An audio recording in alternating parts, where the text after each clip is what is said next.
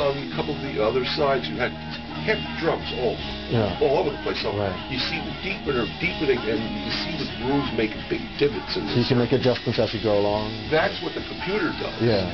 But being that this was kind of an interesting situation, it worked out fine.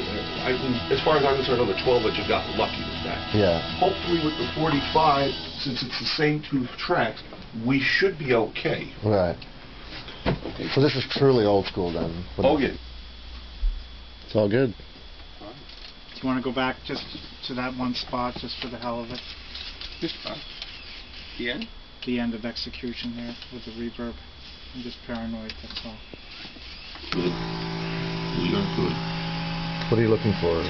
Uh, vertical lifts, because it's the drums with the stuff on the sides. Mm-hmm. But this is good. Yeah. Now I just need the microscope to confirm that the cut is smooth.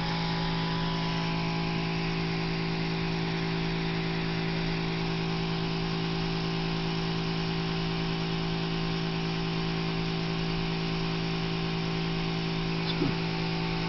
We're good. All right. Nice. You just tell.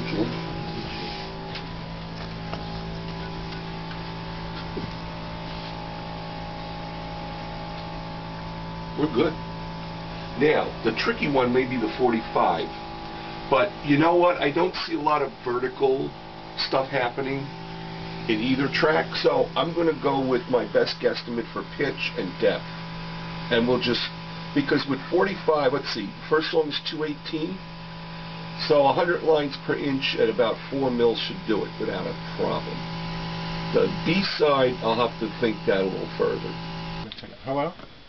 Yeah, you ready, Ray? Yeah, just hold one second.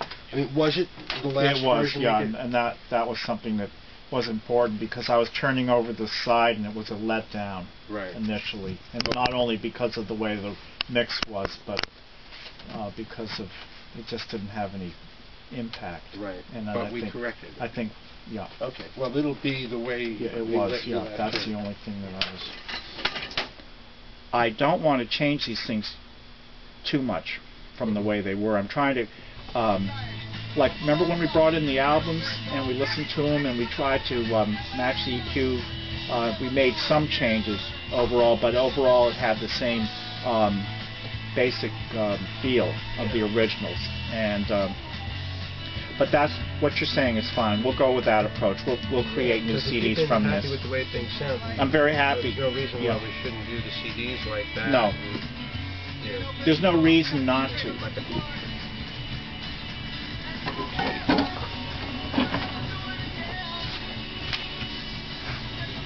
Hold down so it's ready for its trip to California. Nice. was, uh, I mean, when I say standard pretty much 99%, 95% of all the record companies would cut six sets of masters initially.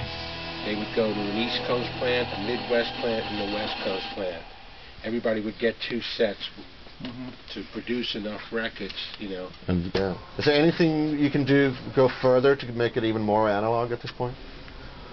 Not really. No. I mean, it's just it's the process in itself, the analog aspect of the cutting, the mechanical, and that that's pretty much it. Yeah. That's pretty much it. Huh. That's great.